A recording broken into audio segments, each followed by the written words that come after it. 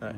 Hey guys, this is going to be the uh, fetal pig dissection um, kind of run through for um, a female fetal pig. Um, you can tell it's the female fetus because we have the orifice back here, right, and not up here where we would see it with the male. And it's also written on the bag.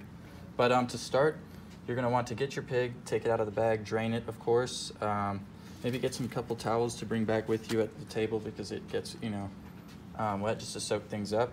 You're gonna get a piece of string. We're gonna cut it about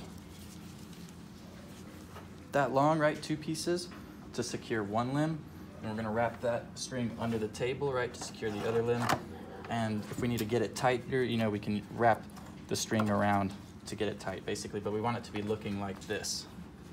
Right, you can stop it there. All right, so starting the, our midline incision, the best way to do is to grab the umbilical cord, get your scalpel, always cut away with the scalpel, right, so you don't cut yourself accidentally, or at least for this part.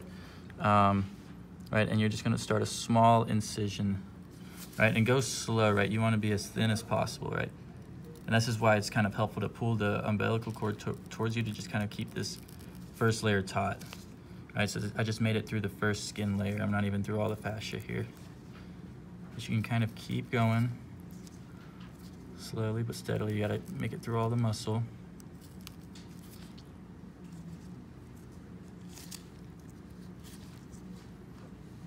All right, hold on, let me just go all the way up with it first. And then we can get deeper. All right, so you're gonna go all the way up towards the chin, basically. All right. And then we're gonna continue our incision around the umbilical cord. And then straight down to the anus. Guys, I've just been kind of just taking very narrow cuts until I've, you know, penetrated right the abdominal cavity. You can see part of the peritoneum here. Well, this little bit here. This is the very last layer, right? We can start seeing some of the internal organs. So you just kind of work your way up, right? Doing, being very careful, right? Right, once we get to the rib cage where I'm at here, well, I'm cutting through the, wow, yeah, that's not, that's nothing at all. that's really easy.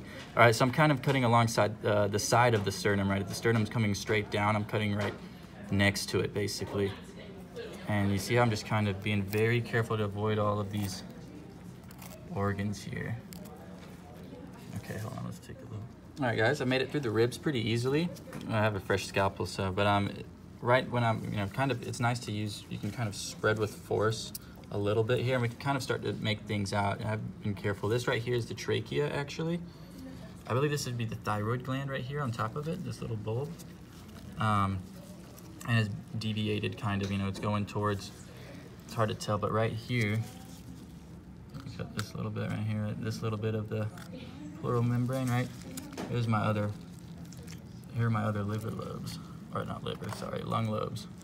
But we gotta figure out how to, let's try to see this trachea connect to it. So I'm gonna pause the video now. So what I thought was initially the trachea actually turned out to be the left sternocleidomastoid muscle and it was coming from the chin down to here. It kind of looked like it had the bulb sitting on it, which looked like the thyroid, but you know, we cut past it and further right here, this right here, this is our trachea.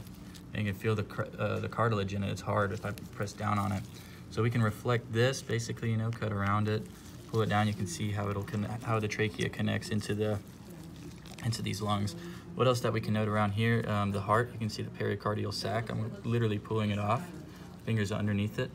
Here, look, we can see both the right auricle and the left auricle of the heart. Let's see, these are all our lobes. They have more lobes. They have different lobe structure than humans do, uh, pigs. Um, here you can see like we have a lot of water inside the body cavity. It might be a good idea to either pick up your your whole tray, your specimen, and take it, and you can dump it. Maybe you know the rope, it won't be uh, it won't get loose. It won't knock your pig loose. Or you can just you know um, do what they do in surgery, right? They have these uh, sponges or towels that you know they soak up pretty well, and you know every now and then they get left inside a patient, but you know we figure that out the next week and open them up again and get it out but um, yeah that's probably gonna use a lot of towels it'd probably be a good idea if we uh, drain our pig because you know working I mean you can't even see what's going on here right uh, here's our liver let's see if we can't make out the gallbladder well right here you can see how this is how the umbilical cord is connected to the liver, right? Uh, we're going to the liver. The gallbladder be located posterior. You can, uh, it's hard to make out. We'll get it in the next video. I'll, I'll point it out. That's okay. Point out here is all of this fatty sort of looking stuff. This kind of, well, it's not fatty, right? It looks, um, uh, let's see, what's the word for it? Glandular. Uh, this structure right here, this is part of this is part of the thymus, part of the thymus. Because remember, in the fetal thymus, you know, this lobe might even be part of it too. Because I don't know if that's muscle or. Huh. Anyway, but uh, remember, in the fetal pigs, right, the thymus is you know active, making all your T cells and B cells before it kind of gets smaller. Um, so in the fetus, you know, we should expect to see the thymus covering most of this area, maybe even extending past over the heart. Um, this little lobe that you'll see, if you find the trachea and kind of go down it, you'll see this little button looking thing. And right here, this right here, what I'm holding in my hand, this is the thyroid gland. And that's just about everything that we'll see up here, right? We might be able to see some, uh, um, I bet one of the, mm, I'm not sure if that's the, uh, one of the salivary glands that we have, but you'll be able to find those th uh, three. We can maybe do it. That's for the bonus. Um, what else do we need to see down here? Well, let's just make it out. We'll get the innards out um, so we can get to the ovaries. And uh, oh, here we can see the spleen. This little piece, this noodle looking thing. Right is on the far left. That's the spleen. Um, yeah, that's good. You can just cut um, superior to the heart. I've basically been um, looking at some vessels here, but I was trying to get to the trachea. Here you see the trachea. Can you see the rings? If you look really close, see the cartilaginous rings that we have in the trachea. You can actually see those. And then right just behind it, this is this is our esophagus. So you can quite literally peel. Sometimes it, it works. Yeah. So this tube right here would be going, right? Let's see, there'd be a sphincter here. Anyway, we'd end up getting ultimately into the stomach were to trace it. But okay, I'm gonna take the vital organs out now. And then you can literally pull, right? Pull and cut, kind of, right? Pull and cut, you're gonna feel the back of the, uh, the spine here. So this is almost out, right? What was, what was holding it? Okay, we have some fascia here. Oh, there it is. All right, so let's look at this. Well, let's see. If you guys want, it might be a good idea. If you guys get the heart out like this, you can probably, maybe if we get, if those pins are skinny enough, you might be able to get those in. We could figure out exactly what hole is what hole, right? The big one right here is that's going to be our trachea. Again, you can I can feel the cartilage's rings in it, so I know that right behind it is the esophagus, right? That's going down, right? The heart and the uh, lungs, right? There's our trachea. It goes right and it ends. It's going in here, right? Somewhere there's it bifurcates the carina, right? But our esophagus continues behind it. So this is our continuation of our esophagus. This was the esophagus. You know, I was quick to point out thinking what um, it is what I thought it was, but no, this is the esophagus, right? I can get a pin. All right. I want to see if I can actually, you know, well, let me break this in half to make it a little shorter. See if I can poke around and feel this within the stomach.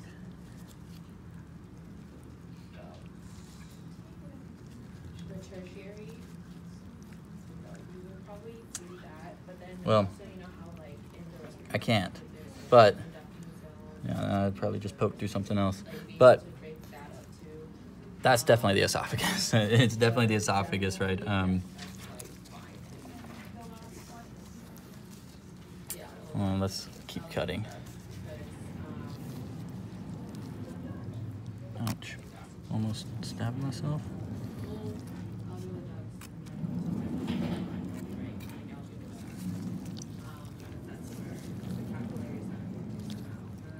Okay, so I keep pulling my fingers back here and back here, and I touch the, briefly touch the kidneys. You can, uh, if you wanna, you can kind of go ahead. There's the kidney, right? It's sitting behind the peritoneum, so it's retroperitoneal, right? We'll get past that. I gotta get all these other guts out. The guts. Okay, hold on. Let's cut around.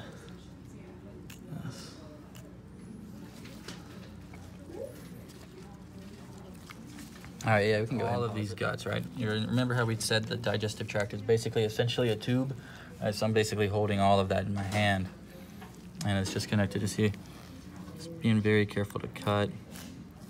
Okay, this right here. Well, hold on, let's cut it around here just to loosen up the kidneys because I'm starting to pull them out from the peritoneum, right? Let's see, what else do we have here? Let's cut that a little bit. Right, I'm about to cut the rectum. You ready? And boom. So now we can start pu pulling out the things here, right? So the gallbladder was that guy here. Let's see. We got the stomach, right? This is the duodenum, right? This is the start of the small intestine, right? So we'd have the um, uh, gastric sphincter, or the pyloric sphincter, excuse me. All right, we can follow this back.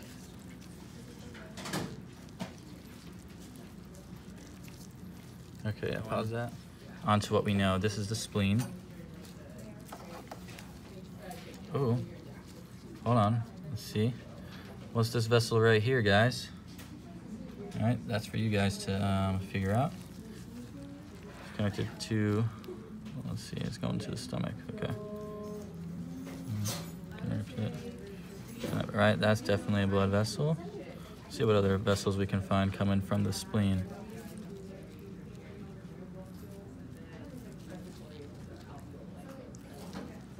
Yeah, it might be a good idea to start using a hemostat for some of this stuff because it's getting slippery. Right here we got some more vasculature.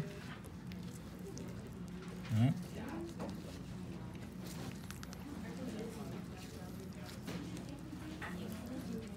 Okay. Good deal. All right, so let's um, show you show you guys the pancreas. Pancreas is this thing right here. Granular looking, very unimpressive. And it sits just under the stomach. So this right here, this is the pancreas. All right, we're gonna keep following the small intestine, small intestine, small intestine. Eventually, somewhere, right, if I can cut through all this mesentery, all right, we'll get to the large intestine. And we can trace that out. If you guys wanna, right, got a good bit of poop in here. Um, so yeah, don't wanna cut that one out. Cut that out. Um, right, so maybe as you guys pull out the insides, maybe uh, one of the partners, if you guys want to, you can, you know, separate out the, you know, the small intestine, you guys can stretch it out if you want. Maybe if we'll have time, we'll see as you can make out everything pretty nicely within here. Anyway, it's satisfying. Okay, let's see. So now the next thing that we have, right, is the urogenital system. Once we got all of this stuff out, all right, well, and see, we need to probably drain the pig again, right, because I can't see anything. I, you know, we can't be working down here. I see the kidneys, right, but, um, right, and then we are gonna have the, ooh, this right here might be the, the bladder. I can't remember what this is. I'll have to look it up. No, that's not the bladder. Maybe it is. No, it's not. It's not. You know how we're gonna find the bladder, guys? We're just going to follow the ureters. So I'm gonna drain this pig real quick and then we'll start the next video. Richer. Yep. So I'm getting at the kidneys. They sit retroperitoneally. All right, so I'm just gonna grab, grab. Yeah, it worked better with my fingers. grab the, the peritoneum, right? I'm gonna grab it and start peeling it back. Cutting. Oh, maybe you gotta go, go from the other side real quick. Yeah. There we go. Boom. Okay. And you can literally peel it. It's like a tangerine. literally like a tangerine. It just came out. Okay. So, let's see. What's the important parts coming off of it? Um, I should have mentioned, right? I've already cut through it probably. Uh, yeah, right here, guys. You see this? Uh, vessel right there. You could see it open a second ago. There. This right here, this is the renal artery. Shoot. Come on. You can kind of see it, the vessel, right? So it came right off the abdominal aorta here. This is the abdominal aorta. It's all like, the aorta is going to be all the way in the back, right, um, you know, against the spine. That's where it's safest.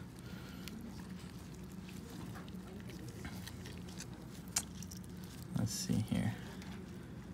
Uh, same thing on this side. I already cut through the arteries. So, that sucks. But okay. Let's pull this guy out. Alright, I'm just gonna cut between the ureter. There. Yeah. Come on. There. there. Now we can kind of see the ureter a little better. Alright, so it's gonna have all this sticky stuff. Now, as far as the adrenal glands, I've never been able to really find those. So the first group to find adrenal glands gets all the bonus points they could really want, honestly. No, I'm just kidding. I can't give you all the bonus points. But um, definitely some big points for the adrenal glands, right? Um, I'll have pictures um, for you guys where like the adrenal glands are supposed to be. I don't know if, I'll, I'll try to find, I'm sure someone has found it on the fetal pig. But um, they don't necessarily sit on top. They might sit like, you can't sit in front, there's nothing else in front of them, right? I'm not sure, right? Because I, I mean, I couldn't, you guys were watching it with me, right? There wasn't anything really, right? I mean, that was sitting in their retroperitoneal too, right? I took that out. I can't find anything here, so. Anyway, moving on. So let's trace right back, because I think, I'm pretty sure this right here is the bladder, right? These are the umbilical arteries to the left and to the right of it. I've already cut them, you know, cut the attachments, right? And so let's trace the ureters. Oh, I'm gonna have to make another incision here. Just get a little deeper.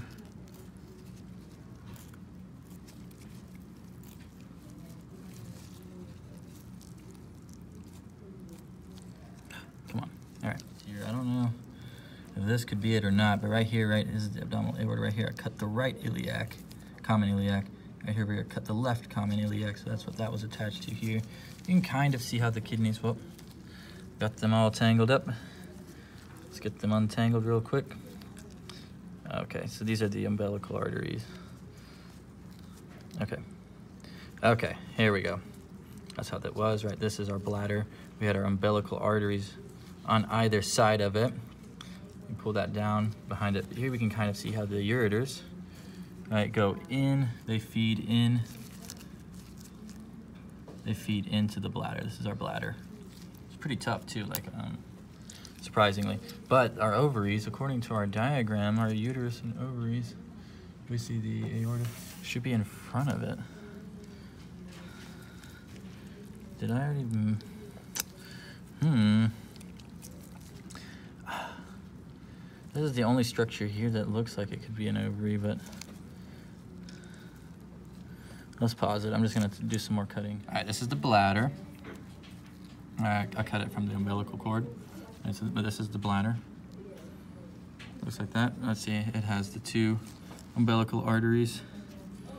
This was one of them that was going with it. This is the other one. So here I have the bladder and the two umbilical arteries. You can actually see the ureters, how they go. There's one side goes into the bladder and then the other ureter.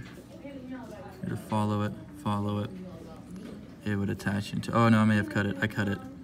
I cut the other ureter, um, but it would be going in here, right? I cut it, but we were looking for the um, um, right the uterus and the ovaries, and so uh, being you know like it was really tough to find it, so we we, we you know opened this up, we split it. Right? You can use your hands to break this bone, maybe you know if you're wearing goggles or something. I mean, it hasn't been that splashy, right? No, not at all, right? So uh, we followed up the, you know, we started with the two holes back here because, you know, we can make out what's what. And we kind of went up the uh, vagina here, you know, just tracing it, right? And then separating it, cutting it. This right here is the rectum. And we're like, well, what the heck? Where is it? And I kept thinking that these, on, these um, wrinkly pieces here, right? Right, here's an ovary. Right here in my hands. See the, little bit at the end, that's the ovary. So that's the right ovary. And you'll, you can you'll, you can find it. If you can find the, the vagina and follow it up, it's going to be just right? So this right here, I'm holding the rectum with my right hand. So the uterus is going to be just um, anterior to it. So this is the right ovary, so let's find the left one. Um, let me pick it out. Me get the forceps. Here it is. So yeah, I kind of butchered this one, but now I know where, where they are, what they look like too, so I'll be able to find it. Here's the other ovary. So, right and left ovaries. And see the uterus I kind of butchered, but you know, it'd be, I guess I'm holding part of the uterus here. Or this is part of, this is the uterus. Or not the, um, let's see. Yeah, yeah, this is the uterus. This is the uterus right here.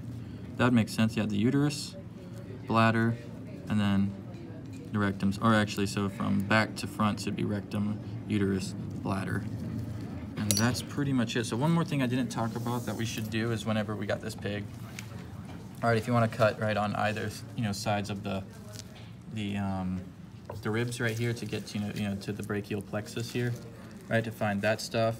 Um, I also kind of did an incision. I start an incision just kind of going down the thigh basically so I can kind of spread things out, you know, just to, because I know there's nothing important right here on the inside of the thigh, but it gives me, it opens this space up so I have, you know, I know where I can, um, I can cut and maneuver around a little bit better. But yeah, so another technique, you can just, you know, break things open with your hands, you know, this stuff is pretty easy. Use your hands for a lot of this stuff. You can peel.